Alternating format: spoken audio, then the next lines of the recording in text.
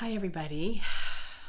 Today um, was a tough day. Uh, I'm going to talk about mental health and grieving. Um, just quickly, today we had to put down a family pet uh, that we've had for 15 years. It was very sad. Um, so I thought I would talk about grief and what grief is and um, how to get through it. Uh, grief is the experience of loss, whether it's the loss of a person, the loss of a parent, the loss of a job or a relationship. Um, it could be um, the loss of health, in that you might have a, a health diagnosis. Uh, and we all grieve differently. There's no right way, there's no wrong way.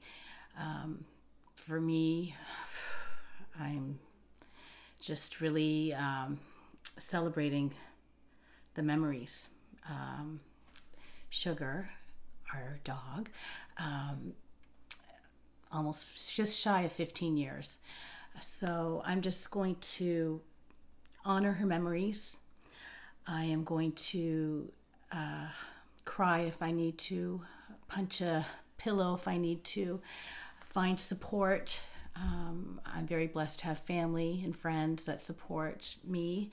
Um, so it's so important if you're grieving of anything, whether it's a person, pet, or a job, anything, make sure that you do get support, whether it's friends or family or professional help. Um, I put a couple of notes here. Yes, just reach out. Um, be aware of your physical. Make sure you're still eating. Uh, and I think one of the toughest parts of grieving, I, I know because I've lost both my parents, and um, is those special occasions uh, that come up, whether it's a birthday or Christmas or holiday.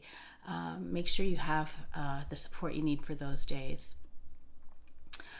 Uh, that's my video for today. Um, keep your mental health in, in good shape so that when you do experience a, a, a loss of some sort that you're able to cope and you're able to get that support that you need.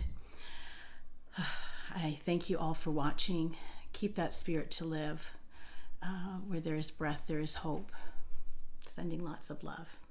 Take care. Thanks.